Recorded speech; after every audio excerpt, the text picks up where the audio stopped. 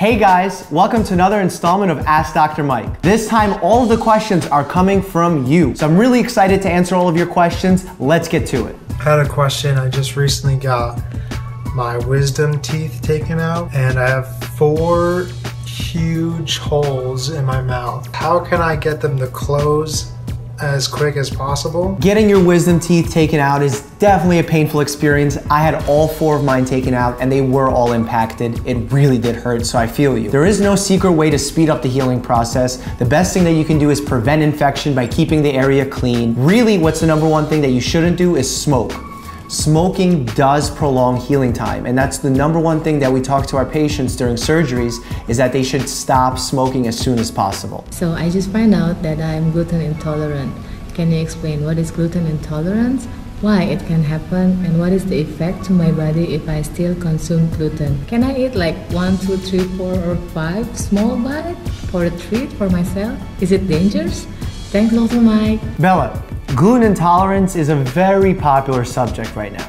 But the way that I like to break it down to my patients is that there's two types of gluten issues. One is celiac disease. You've heard about it in the news, and celiac disease is actual damage in your intestines from eating gluten, which is a protein byproduct of wheat. In celiac disease, when you consume wheat, your body has an autoimmune response, which means that your own body attacks its own cells because of an overreaction to the wheat product and you get physical damage in your intestines. Now, the second part of this is something called non-celiac wheat sensitivity. There's people that are sensitive to wheat, but not necessarily to the gluten component. In non-celiac wheat sensitivity, we don't have the research to back up what happens if you continue eating wheat.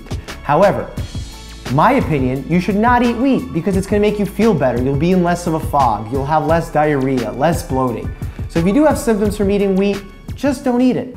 Okay, that's a great question, Fayez, and it really does give strength to the statement that you can die of too much of anything. So yes, you can die of taking too much water because you limit your body's ability to properly manage the electrolytes within your system. Electrolytes are crucial for managing everyday life functions like making your brain work, your heart work, or even your kidneys. What do you recommend for people with IBS? Because we both want to repair our intestines on a daily basis. Thanks, Dr. Mike. Hey girls, if you do have IBS and it's true, treatment depends on which type of IBS you have. There's IBS that's mostly diarrhea predominant. There's IBS constipation predominant. And there's also a mixed version as well. For mild disease or symptoms, you can do some dietary modifications. There's a specific diet that we put patients on who suffer from IBS called the FODMAP diet. What that diet does is it excludes certain foods that your body is unable to digest and the bacteria in your stomach are able to digest, so it causes that uncomfortable bloating feeling, pain, and it really does mess with your bowel movements. If you're able to eliminate those types of foods, people do see an improvement in their symptoms. If you do have a moderate or severe form of the illness, there are medications that you can use to treat your illness. However, in order to get those medications and to find out what medications are suited best for your symptoms, it's important to go see your doctor. Hi, Dr. Mike.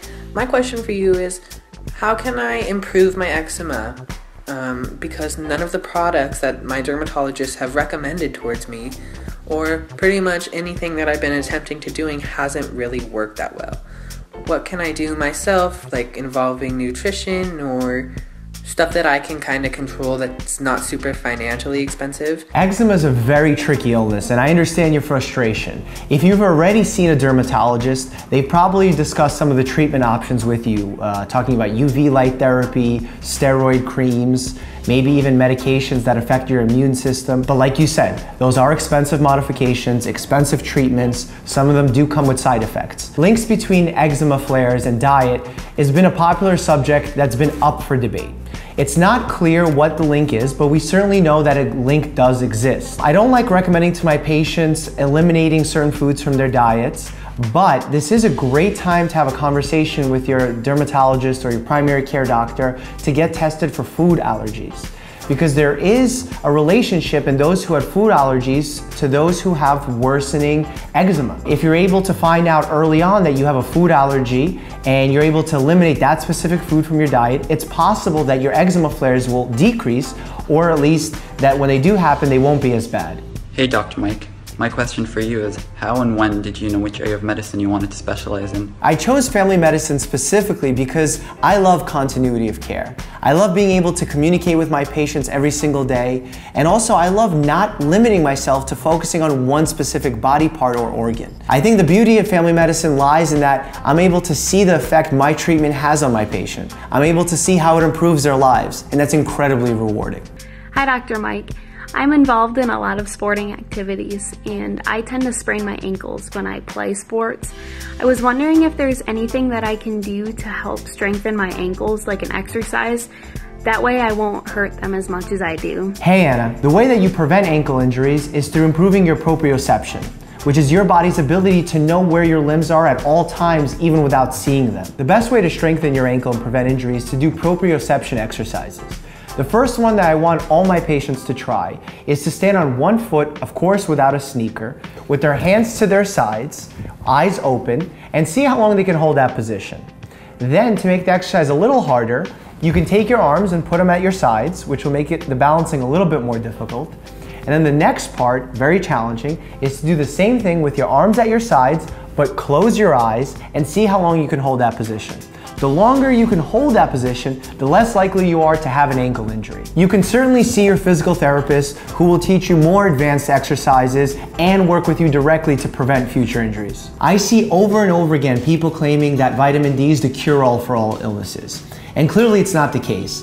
There's been a huge uproar and uptick in studies and articles coming out recently saying that Americans are taking too much vitamin D now. I've said this maybe two months ago in a YouTube video called Are Vitamins Fake News? Check out that video and see the real deal on vitamin D. Um, I would like it if um, you could explain to people why asthma has many different levels, um, why some people find one puff of an inhaler will help them and other people with severe asthma like myself need nebulizers and oxygen therapy because I feel like people still take asthma as a bit of a joke and they seem to think that um, people with asthma are hypochondriacs and things. I've spent many times in ICU I've been critically ill, I've had pleurisy, I've had many things and I've been told by friends, you know, if you're going to be making that noise, can you go home because you're annoying me? I've been asked if I could be quiet. So if you could maybe feature this and answer the question, that would be amazing and I would really appreciate it because I feel like I'm talking to a brick wall when I try to explain to people coming from a doctor it might be better. Thanks Mike! First of all, to all those who said asthma is a joke, they are completely wrong. They don't know what they're talking about, and I'm so sorry you had to go through that. Asthma is a very serious illness, and I've had to intubate otherwise healthy 16 year olds with illness. There are levels to asthma. You have mild asthma, moderate asthma, and severe asthma. There's further classifications, but that's for your doctor to worry about. And the difference between the levels of asthma is the difference between the types of medications you need to take. So for the more severe asthma, you're gonna need to take controller medications, ones to prevent asthma attacks from happening in the first place, versus for mild intermittent asthma, you can just have a rescue inhaler and use it as needed. You clearly have a more advanced case of asthma, so you do need to be on a controller medication, and I'm so sorry you had to go through all of this ridicule from your friends because they don't know what they're talking about. All right, guys, it's time for the lightning round. What is the healthiest way to burn fat? HIIT, high intensity interval training. It's where you build muscle and burn fat at the same time. How can I get fatter? Really though? Well, you could sleep less than six hours a day, eat a ton of carbs, and be a huge couch potato. How to deal with insomnia. Insomnia is tricky because you need to get a full history and a full physical exam and sometimes get some lab work done. Not an easy question to answer, go see your doctor. If you weren't a doctor, what other career would you have pursued? Detective. I love investigating and that's frankly what I do every day as a doctor. How do you remove eye bags? Eye bags make me not confident, thanks.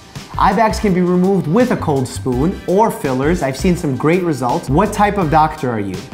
Family medicine, the best specialty out there. What's the most challenging part of being a doctor? Constantly refreshing your knowledge. Things change every single day and it's important that you stay up to date. I really enjoyed answering all of your questions today. I wasn't able to get to all of the questions and if you still have something that you're itching to learn about, leave a comment down below. I'll make sure to get to it. And I hope you're excited for the next installment of Ask Dr. Mike. Leave a comment down below. I'll be sure to get to it. Why did I highlight be sure? It doesn't make any sense. And it's really one of those diagnoses. Diagnoses. Yeah, that's a mouthful. Uh, uh.